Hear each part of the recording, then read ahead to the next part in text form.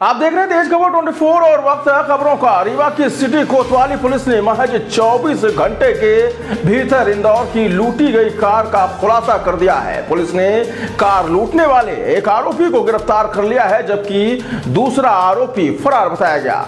Police के खुलासे में चौंकाने वाली बात यह है कि आरोपियों ने कार लूटने के लिए पहले से योजना बनाई थी और उसी योजना के मुताबिक कार को इंदौर से बुक कर रीवा लाया गया, जिसके बाद चालक से कट्टे की नोक पर लूट की वारदात को अंजाम दिया गया था। फ़िलहाल पुलिस ने लूट की वारदात के महज 24 घंटे के भीतर आरोपियों को गिरफ़्तार कर उनके कब्जे से कार को बरामद कर लिया है। दरअसल यह कार्रवाई सिटी कोतवाली थाना प्रभारी आदित्य प्रताप सिंह ने और उनकी टीम ने की है।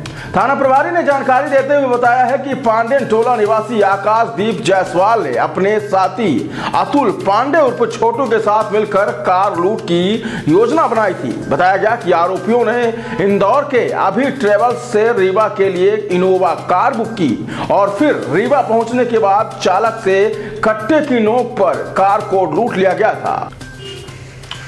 मामले में पुलिस ने आरोपी आकाशदीप जायसवाल को गिरफ़्तार कर लिया है जिसके कब्जे से 13 लाख कीमती इनोवा कार बरामद की गई है जबकि वारदात में शामिल दूसरा आरोपी अभी फरार है जिसकी तलाश की जा रही है।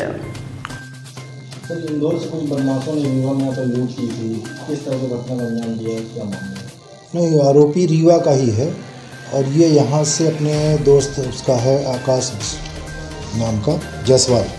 ये दोनों और एक है मेन आरोपी इसमें अंकित उर्फ़ छोटू पांडे। ये दोनों प्लान करके अंकित इंदौर यहाँ से गया, वहाँ पर एक प्राइवेट ठेकेदार के पास मजदूरी का काम करने लगा।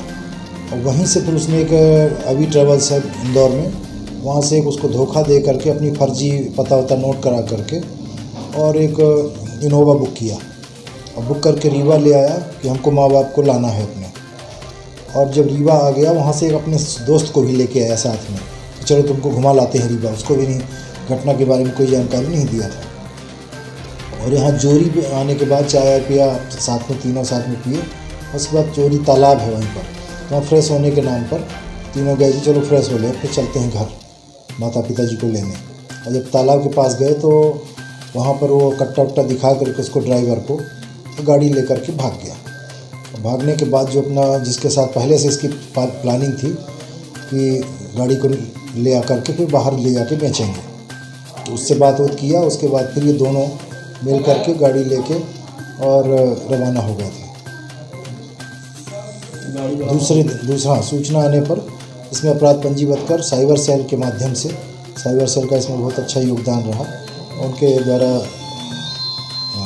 लोकेशन ट्रेस करके और वाहन को जब्त कर जब्त कर लिया गया है। एक आरोपी पकड़ लिया गया है, एक आरोपी मौके से भाग गया है, जिसको तलाश की जा रही तत्काल पकड़ लिया जाएगा।